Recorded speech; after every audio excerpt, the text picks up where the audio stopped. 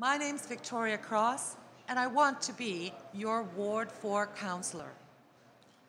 Thanks to the Windsor Star for taking the time to do this. As Don said, or I overheard him say just now, democracy rocks, and no one ever said it was easy.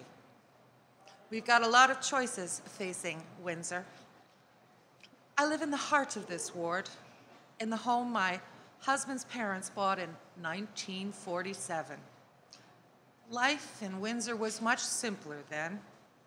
It's not like the old days. Now, employment is precarious, jobs to support a family are hard to find, and so is our ability to relate well to government at all levels. We are in a different world. What I bring to the council table are three major things. First, I bring a useful education. I have two degrees from the University of Windsor and a master's degree in international human rights law from the University of London in England. That means I studied how the European Union works, and I came home to practice law. I taught at the university too constitutional law, environmental law for engineers, labor law and policy. I'm following the federal government negotiations on the Canadian European Trade Agreement. This treaty will have a direct impact on Windsor, on Windsor families, and jobs for Windsor people, just as the North American Free Trade Agreement did, and the end to the Auto Pact killed jobs here. When it comes to dealing with issues around international employers, I have a worldview as well as a local one. I know about international agreements and world economic and social realities, and zoning and sewers and taxes too. Good jobs matter here in Windsor, and I will fight for them. Second, I have a lifetime of experience here, 30 years of work in this community, and the wisdom learned from working with all levels of government, sometimes on the inside. I advocate for people, for our community, and of course, I've been volunteering here for years.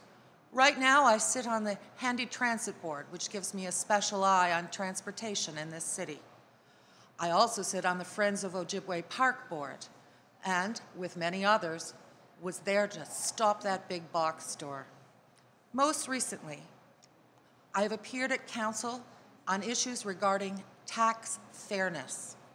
It's time we have a fair tax commission in Windsor to examine how we assess assign, and collect taxes.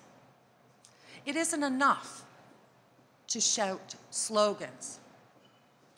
What we have to do is work from shared knowledge about how our tax system works. We need to make decisions based on that knowledge together. This, of course, goes along with reestablishing the internal auditor general position with free reign to, co to conduct wide scope analysis of how our money's been spent. We need audits of every major project and arm's length energy. Uh, excuse me, we need, we need serious analysis of every major project and particularly EnWin. Third, the rubber hits the road in our neighborhoods. Let's make our sure our neighborhoods are a place where young people and families have fair taxes, good housing, affordable hydro, water.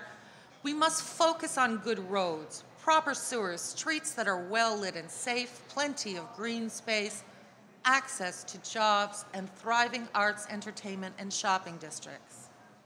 Finally, I want to say that I'm here for all the people of this ward.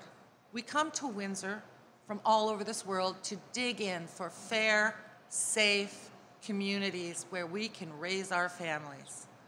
I will work to represent this ward and all the people in it with the same strong-minded determination we have come to respect from the Ward 4 representative. My name is Victoria Cross, and I ask for your vote on October 27th.